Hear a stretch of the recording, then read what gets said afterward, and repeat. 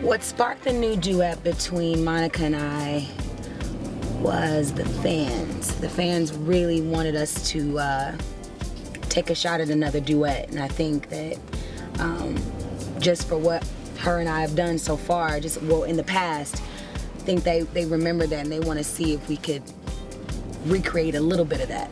We both sang a lot of songs about heartbreak and different things that we've been through, but this song, the woman is definitely in control. We can't we can't do what we did before. Can't sing about you know a boy being you know mine or hers because we're adults now. It's a girl power record, or the female is the one that has it all.